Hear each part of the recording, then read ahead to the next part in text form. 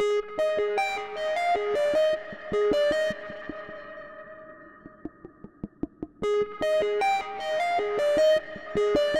everyone, this is Dave from Daily Tech TV and I've got a viewer question here from something I'm going to really struggle with saying this name, the VTEG B. So, so sorry if I've said that wrong. So the VTEG B asks, which do you think is the best operating system for mobile phones?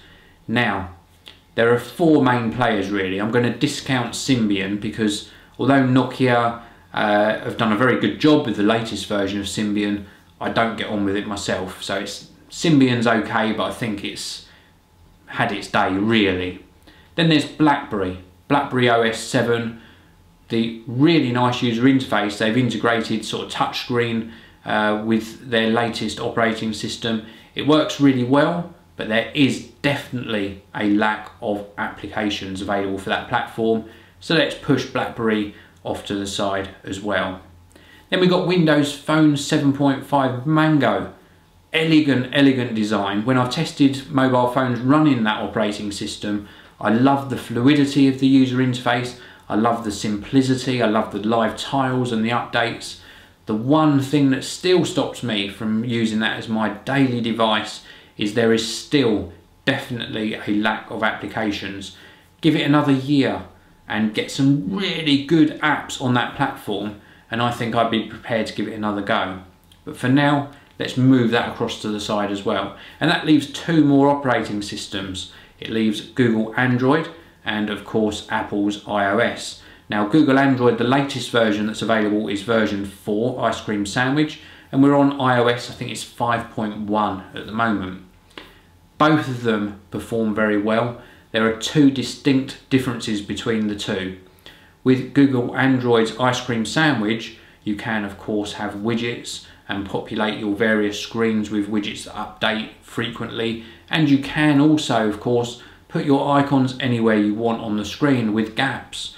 With Apple's iOS, we have got notifications now like Android, so we can pull a drawer down to get uh, access to notifications that have come into our device.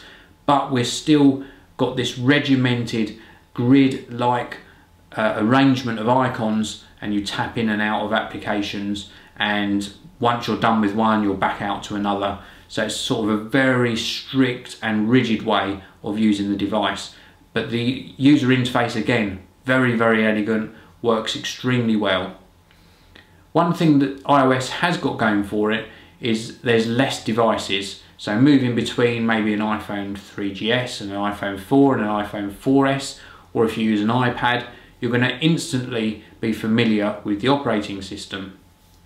With Google Android, even though it's running maybe uh, uh, Google Android Ice Cream Sandwich or the previous version, you're going to maybe have slightly different experiences depending on which brand of mobile phone you purchase. If you purchase, for example, an HTC handset, it has HTC Sense overlaid on top of the operating system, so it looks slightly different to if you purchase something like a Samsung Galaxy Nexus. It's still easy to find your way around, but it just means things are positioned slightly differently and it has a slightly different feel to it. You've also got the added implication with Google Android devices is that you've got so many to choose from from all different manufacturers. But when it comes down to looking at just the OS, which was your question, which is the best operating system, I'm not going to say which one. I think they both have their merits and their downsides. For me, I'm still on Google Android at the moment and I love Ice Cream Sandwich.